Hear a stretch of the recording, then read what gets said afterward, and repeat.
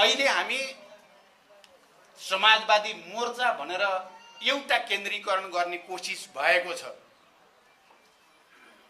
र भर्खरै सरकारको नेतृत्वको हैसियतले मैले जुन समीकरण गरेको छु म बढी त भन्न चाहन्न यो रणनैतिक छ यो दूरगामी छ मेरो विश्वास हो कि यो क्रान्तिकारी पनि छ।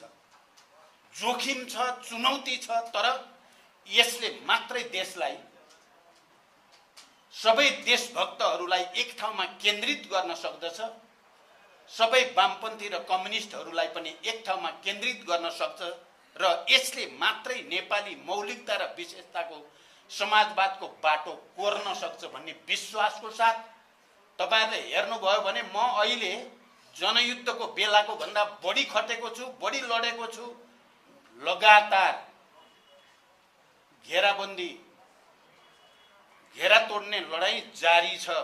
म त लडिराखेकै छु।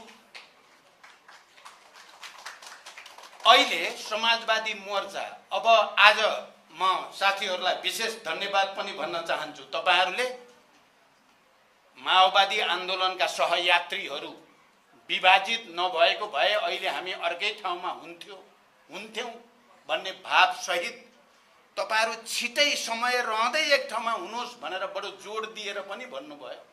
म तपाईँहरूलाई धन्यवाद भन्न चाहन्छु।